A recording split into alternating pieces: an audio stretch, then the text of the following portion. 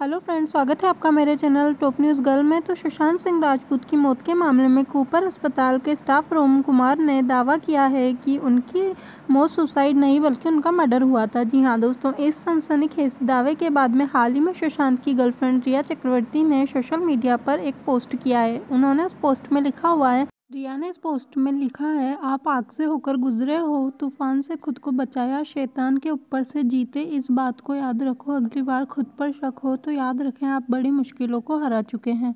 ये post share करने के बाद में लोग उनके कमेंट सेक्शन में तरह तरह के सवाल उठा रहे हैं। आपको बता दें कि सुशांत की फैमिली ने रिया चक्रवर्ती पर दर्ज किया था केस।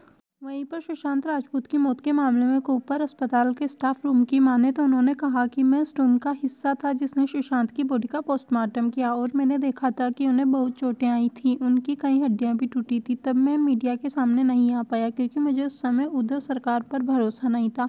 अब सरकार बदल गई है तो मैं सच बताना चाहता हूँ, मुझे अपनी जान की परवाह नहीं है। सुशांत सिंह को न्याय मिलना चाहिए। तो इसके इस पोस्ट के बाद में सुशांत सिंह का मामला जो थोड़ा ठंडा पड़ चुका था वो वापस से एक बार ऊंचाई की ओर बढ़ चुका है और वापस से उसके केस के मामले में तेज़ी से जाँच होने लग चुकी है।